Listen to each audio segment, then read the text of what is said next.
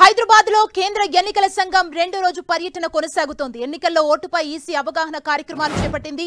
Hyderabad Durgam Cheruvu cable bridge పై సైక్లోధాన్ వాగ్దాన్ని నిర్వహించింది. ఈ మారధాన్ని chief election commissioner Rajiv Kumar జెండా ఊపి ప్రారంభించారు. మారథాన్లో విద్యార్థులతో పాటు పెద్ద సంఖ్యలో యువత పాల్గొన్నారు. హైదరాబాద్లో కేంద్ర ఎన్నికల సంఘం ఈ రోజు రెండో రోజు పర్యటన కొనసాగిస్తుంది. ఈ పర్యటనలో భాగంగానే ఎన్నికల్లో ఓటు హక్కుపై ఈసీ అవగాహన కార్యక్రమాన్ని చేపట్టింది. చూడొచ్చు దానికి సంబంధించిన విజువల్స్ని.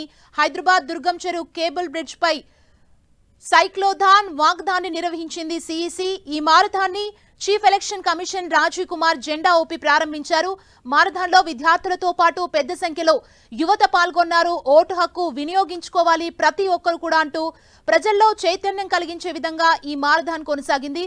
మనం ప్రస్తుతం చూస్తున్నాం హైదరాబాద్లో కేంద్ర ఎన్నికల సంఘం రెండో రోజు పర్యటనలో భాగంగా ఈ మారథాన్ నిర్వహించింది దుర్గం చెరువు కేబుల్ బ్రిడ్జ్ పై